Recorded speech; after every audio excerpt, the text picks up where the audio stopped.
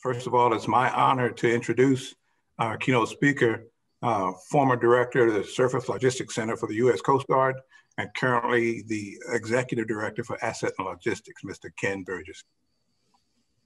Thank you, Eric. Uh, good afternoon, everyone. Uh, again, my name is uh, Ken Burgess, and I am the exec executive director for Assets and Logistics within the DHS, or Department of Homeland Security Office of Readiness Support. A couple things before I get started. Uh, thank you very much to the Asset Leadership Network for inviting me and, and, and my team to speak today. Uh, I really appreciate it. Uh, we out assets and asset management within the DHS Chief Readiness Support Office, particularly within the Asset and Logistics branch. And uh, I was also uh, enticed when I uh, saw an old clip when uh, a lot of references to McSorley's Pub in New York City. And uh, anybody like likes McSorley's Pub, I, am very glad glad to talk to, and hopefully maybe we could have a meeting there in the future. But we, we do appreciate the opportunity. Um, uh, first up, could uh, we go to the slides, please, uh, we, David? Yep, I've got the, just bring the slides up now. Just want to make sure everybody can see these fine. Okay. Next slide, if we could, David. Sure.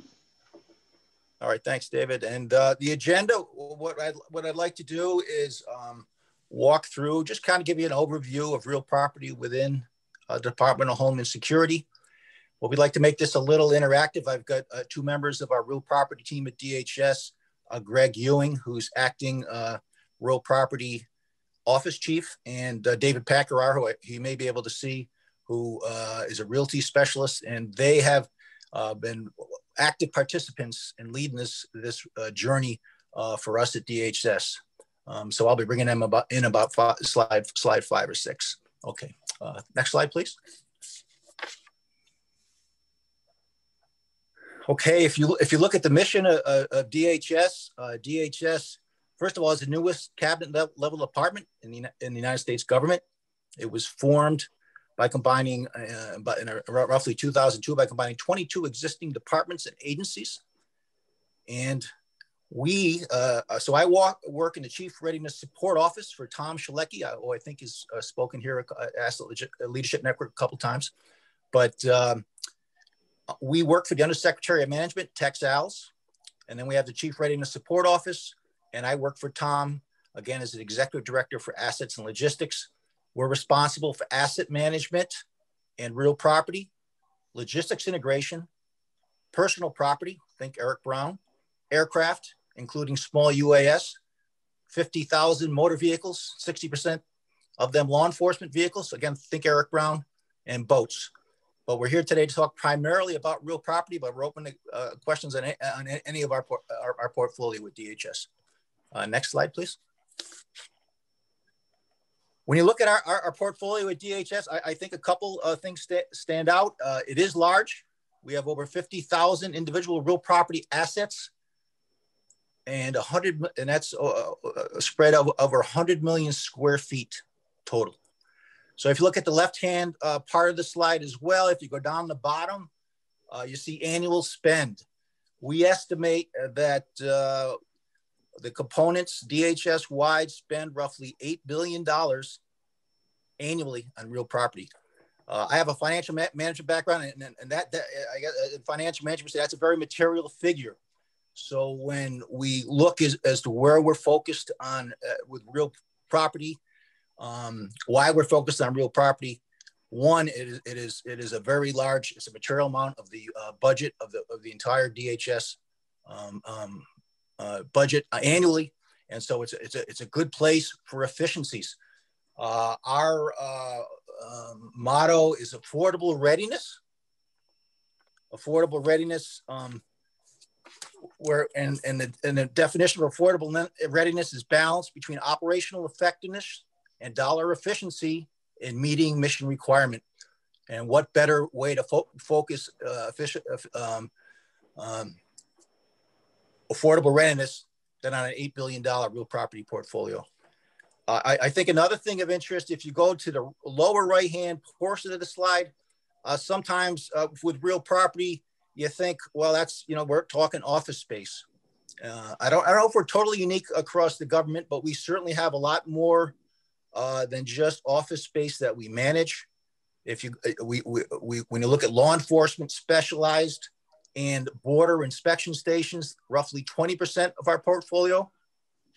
We've got some unique requirements, Coast Guard family housing for active duty members. And even, and even our warehouses in DHS really aren't warehouses. I'll call them, opera, they're operational support entities. We're talking about active, active distribution centers in FEMA. Um, and the Coast Guard has inventory control points that are actively um, pushing spare parts for their aircraft and cutters around the world.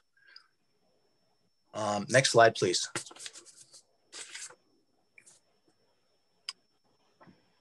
When you look at the structure of DHS, uh, again, large amount of uh, uh, components. I'll, I'll, just go through some of the, what, I, will call the major components, some of the larger components. Uh, CBP, or Customers and Border Protection, if you look underneath the CRSO Officer Real Property tag there. Um, FEMA, ICE, uh, TSA, Coast Guard, and Secret Service. Um, what uh, what is uh, each of those uh, entities have been been around a long time. Uh, they've got their own history. Um, they're very proud of their history. They have their own mission. Uh, they they they're all governed by different uh, congressional committees. they have unique funding authorities, unique funding, and unique IT systems. So our challenge is when you look at that eight billion dollar portfolio and you reach across uh, these uh, 22 agencies and 12 with real property authority and all using unique systems, unique funding strategies. How do you get how do you get around it from real property? How do you how do you create efficiencies in the eight billion dollars? How do you even track the eight billion dollars? Um, it, has been our challenge, and we've been at it for a while. And if we go to next slide, please. Uh, Greg Ewing, are, are you with us? I'm here, Ken. Okay, so I'm going to uh, turn it over to Greg Ewing and uh, to talk about some of the challenges we faced. And uh, Greg, if you can start off, what uh, you, have been at this a few years. You've done some great work externally with other agencies, with OMB. Uh, mm-hmm. What, what, do you think is the biggest challenge you faced? Well, like you said, Ken, you, hit the nail on the head. Um, we have a large volume of components, um, very very diverse. We have diverse mission sets, anywhere from guarding the border, respond to disasters, to law enforcement. Um, but each each each organization, each component that we're we're trying to oversee has, and you said history, but it isn't just history; it's the development of their systems and processes that are unique to that specific component. Um, each one has their own funding streams, so we don't control the budget. Each individual component controls a budget, so our, our influence is it's difficult for the influence that way um, in, in not just in the budget, but each, some of them have their own congressional committees to, to put that money through. So it makes it very difficult. So how do we get that to demonstrate that strategic mission alignment? But the biggest challenge that we've been trying to come up with is how do we get a handle on that? You threw out that eight billion number. That that that's that's a, probably a good estimate, but still we don't have a good solid. Uh, what do we what do we spend on real property? And specifically being able to link up how much from a planning through to budgeting to execution uh, and then the execution. And how do we track those dollars and how do we get a handle on that? This is something that, that, that I've been working on. Dave's been working on me for about three, four years now. How do we get a handle on that and identify that gap? Um, we also run the trouble with the, the varying levels of planning capabilities. Some components have very good systems in place and processes. We can go out and ask for the capital investment plan. They'll show us where they're at. Other components, not so much. Uh, real an afterthought. Um, and so how to pull that together. And then the, consist, the quality, the data quality. Um, again, can't stress this enough, the multiple IT systems. We're different platforms, different uh, formats, data that they're collecting. Um, so it's very difficult. How do we pull that together so that we can get a, a solid um, comparison across components? And then, like I said, I already mentioned the wide range of funding streams, but this is something that we've been working on. Um, we, are also working with uh, OMB and GSA and some other folks in the Federal Property Council on um, how do we get a handle on these costs. And what we're finding isn't just a DHS problem. Other agencies are experiencing the same thing and try to get a handle on those real property costs. Could you talk a bit, just a little, expand on that just a little bit about with the object class work you're doing with OMB, where you're at? Yeah, one of the things we do, we put together a, a working group to take a look at the, the budget object classifications. If you're familiar with uh, OMB A11, they have a standard structure for the budget object classifications. However, there's nothing in there specifically for real property. They have it broken down. There's major categories for personnel costs, for contracting costs, for uh, um, investments, but real property spans across that. So being able to get a handle on real property costs is very difficult. In fact, most real property ends up being buried in these different codes. So what we're working on is this is a work group project. This is multi um, agency, us, I know Veterans Administration, Department of Transportation, some other folks are very interested in working with us to set up a standard budget object classifications for real property so that when people do their planning, when they submit their budgets to OMB, that real property will be, be identified as a separate budget exhibit. So we get a real handle on exactly our real property spend is. We've gone ahead and identified cost pools all the way across the spectrum from investment to sustainment to disposal. And then we have those categories set up. Now what we're doing is we've been uh, kind of doing the tour around the different agencies, trying to generate some grassroots support for this effort. Um, from our perspective, most of the agencies are very receptive to this. They see the need for this. They understand that um, gaining that visibility into um, the more transparency and visibility we have into how we're spending our money is important. Uh, the problem is though, making those changes to A11. This is just pretty, those categories are pretty ingrained over the past, uh, I think 20 some 30 years. So that's the change we're working on right now. And like I said, it's one of the areas that DHS is leading along with capital planning and workspace standards and things like that. All right, thanks, Greg. And, and so you hit the challenges very well, and, and uh, hit I, I, think one area where we made a lot of progress. Not there yet, um, but um, mm-hmm. certainly have uh, a plan in front of OMB that's going to help us get our on a real property dollar dollar figure, if nothing else. Yeah, um, not just us, but other agencies across. Other the- agencies. Yes. Yep. Um, okay, uh, so go to the next slide, please. Okay, now, uh, now I'd like to do, introduce David Pacurar. Again, he works in real property uh, for uh, assets and logistics within DHS. works works works for Greg and I, and he has really been uh, a stalwart in, in, moving us forward uh, with many initiatives um, across DHS. Again, uh, trying to get our get our arms around this eight eight, billion dollar portfolio in, in, in, real property, um, with the moving towards affordable readiness. But please go ahead, David. Great, thanks, thanks a lot, Ken. Um, so, like Ken was saying, um, and Greg was saying, there's you know a lot of challenges, obviously, in uh, in terms of the scope of what we're looking at. Um, what we have found in terms of actually moving forward and making uh, progress is really just building on what foundations were um, already put in, in in the past and making incremental improvements. So.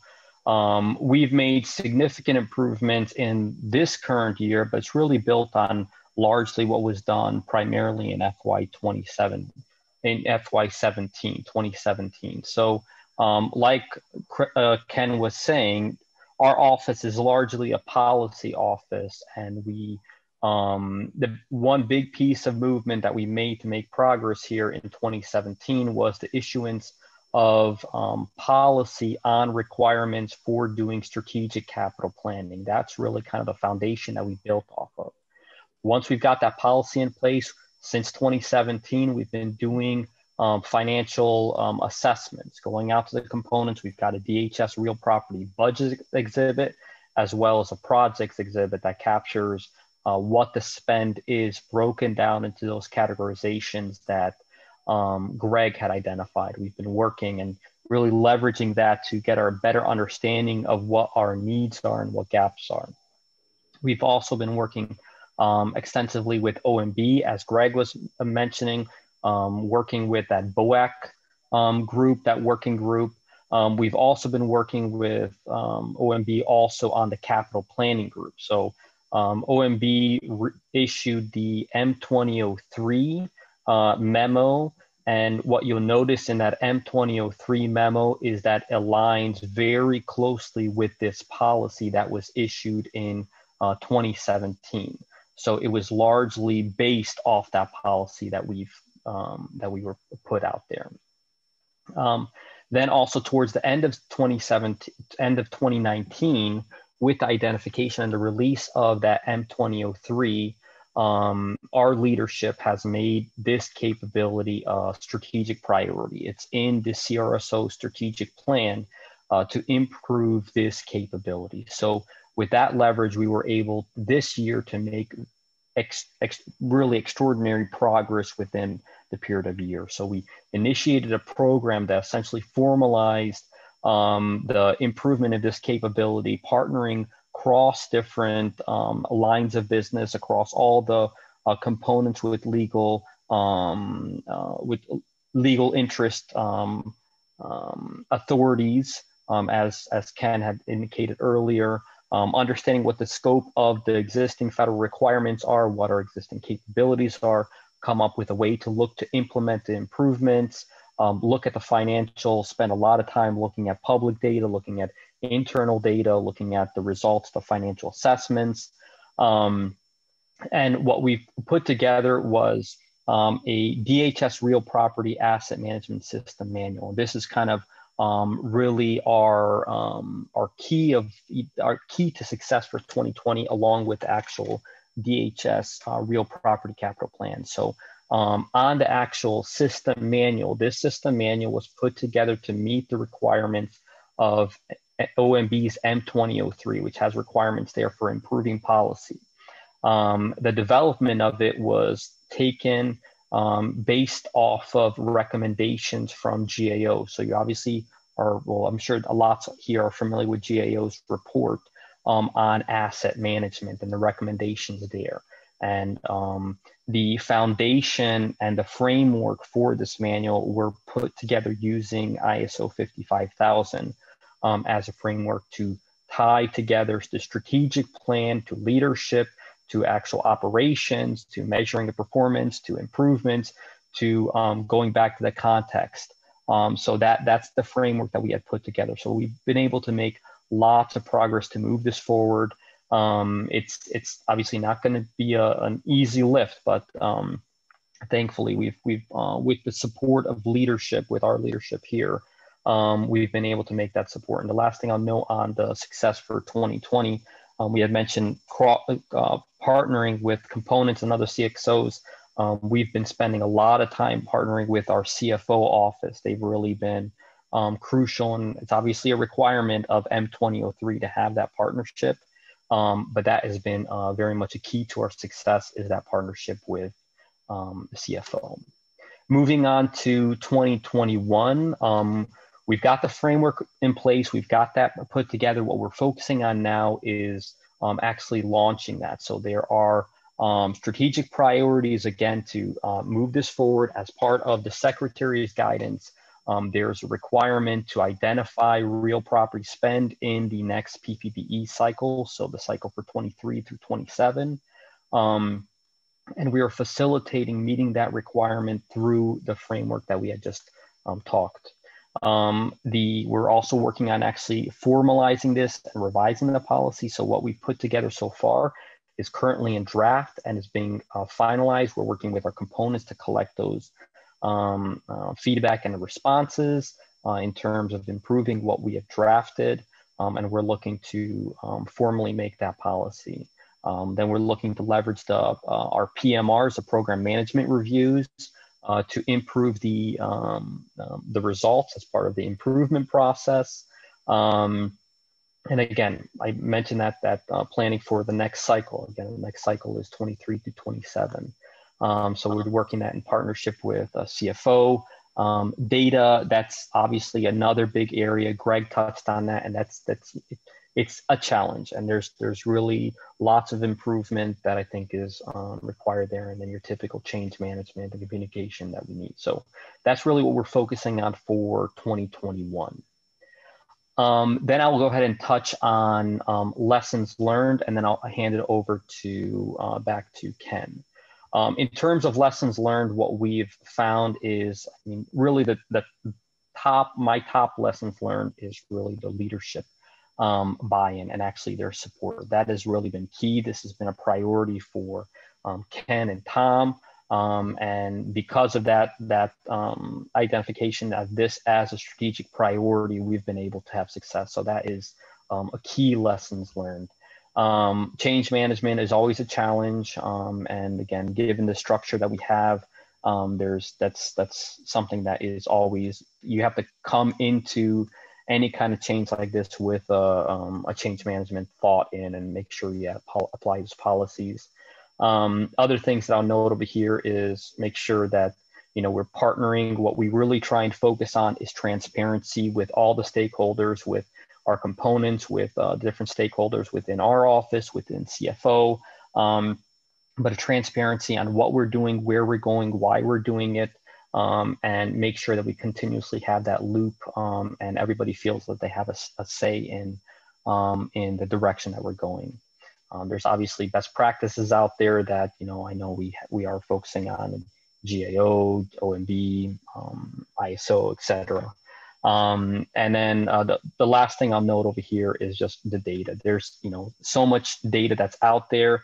Um, one area that we've been able to use, you know, uh, Greg had mentioned that, that a11 section 83 it's got the budget object classes over there um, it's not you know it's not perfect in terms of the identification of the spend relative to the life cycle of real property um, however um, there are some sections there that are specifically for real property that you know you've got the 32.0 that shows improvement to land and structures and and others so um, that's all public information you just log on to usa spend and download it um, so we've been able to use that obviously on top of the internal data that we have as well. So um, that's, that's um, I think I'll just leave it here. Ken, I'll pass it over back to you.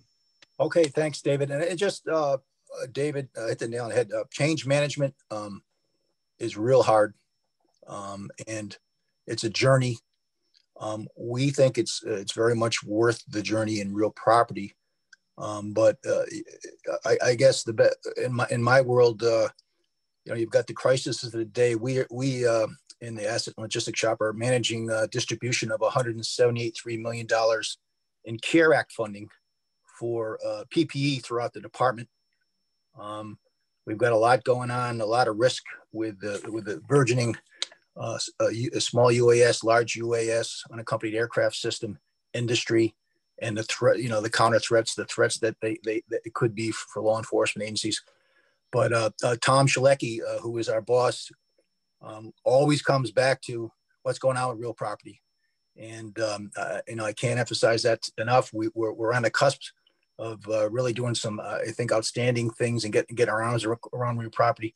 But it does take 100% commitment and drive and, and high cover um, to, to get to get where you need to go. And, and we, we're fortunate we've had that with Tom Chaleki and we're, we're going to keep moving forward. But I think that any, I've been involved with it, with the Coast Guard with several change management uh, in my previous career with, with, change management and it all starts at the top. So uh, we can, I, uh, any questions at all, or do we want to wait or, uh, or I could turn it over to Eric Brown? Yeah, well, Ken, believe it or not, I have questions that have popped up um, yeah. while you're talking. So uh, one of them is from Scott Mason, and one of the best practices, excuse me, one of the best practices of the ISO 55000 training is to begin implementation with, with uh, smaller manageable chunks. How do you see the promulgation or requirement on component agencies of the DHS-RP uh, asset management system manual, since it appears to be uh, all encompassing in terms of requirements? Well, I, I, will let David. Uh, and and throughout this journey, we, you know, we started in 2017, and uh, yeah, a manual can be all encompassing. And uh, but um, the fact of the matter is, what what we look for is progress. And uh, for instance, uh, we're we're getting ready to include real property budget exhibits into a 2023 uh, departmental budget. Uh, we we've been at it two or three. We've been at this now actually three or four years um, before we made that decision. Um, you know, we were ready to go. So, so um, I, I, think uh, certainly, uh, you know, the, the, good news that you get a um, instruction out there or a manual is, um, is it gives someone a foundation. It gives someone a roadmap to success. And then I guess it's our job. Uh, well, it is our job uh, within the department to prioritize where we want to make the most success and make sure the components aren't just just going crazy trying to meet everything. But that, that's a very good question. I do know, for instance, in the Coast Guard, when we modernized uh, logistics and engineering across the surface communities, surface being cutters and boats, and I was at that journey for 10 years. Uh, we didn't start with uh, polar polar ice breakers or national security cutters, we started with the smallest boats we could. so, um, so, so you're right um, uh, um, in that what you want to do is start small, have success, and build out. And so we're going to try to combine that with with a template that we have with the with the with the asset man, management. Yeah, and Ken, if I can add on to that, I, I think you know that's that's a great question, a great comment. Um, and but the reality is is that what we have put together there in a manual, it's it's not necessarily revolutionary to our current policy. You know, there's different lots of different management systems out there, um, and our existing policies that we've had in place um, does not i can't i wouldn't say that the that this that the revision to the instruction the 2520401 is going to be a night and day thing. We have been building on successes that we've had in the in the past and in, on processes that we have in the past.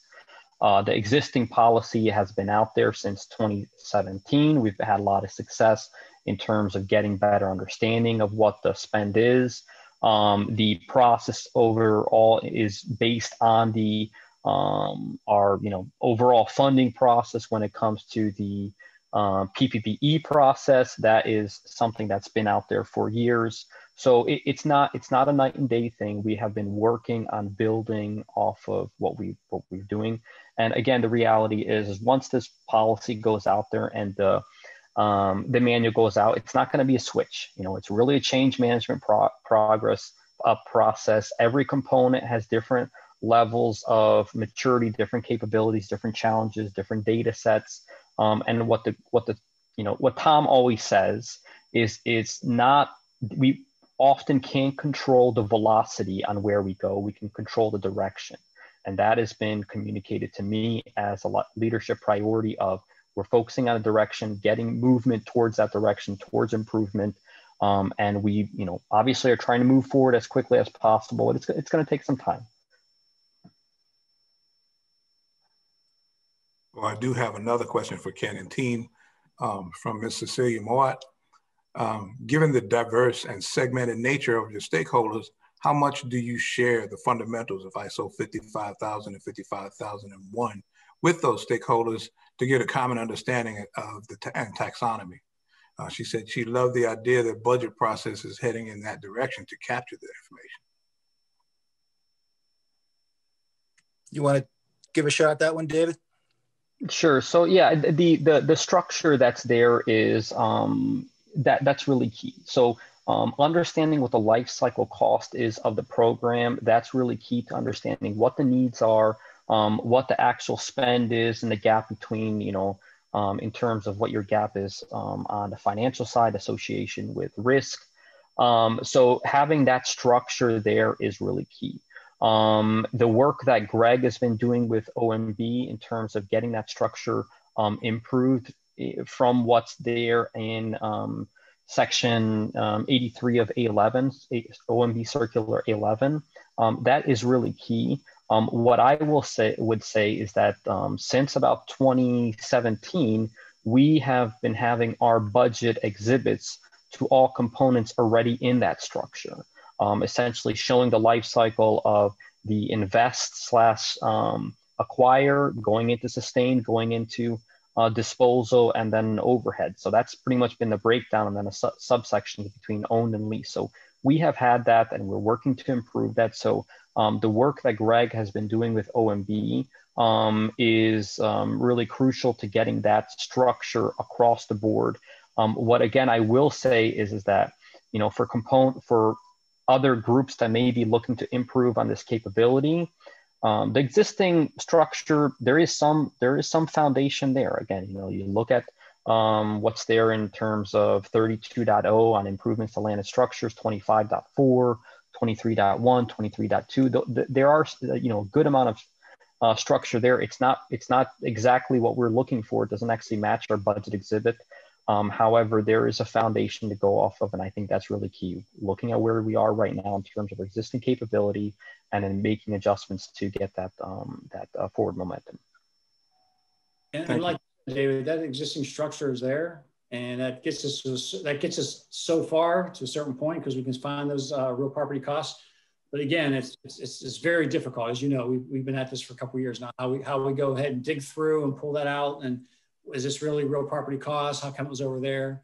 Um, and like you said, the key, the key that really unlocks this is we get those budget object classifications embedded into A11.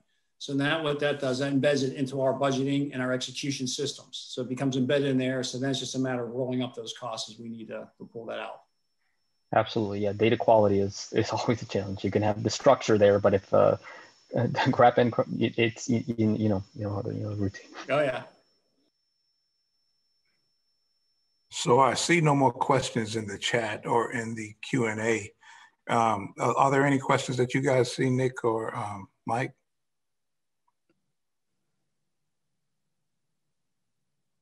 Hey, Eric, Eric. Keith. Can I ask a question?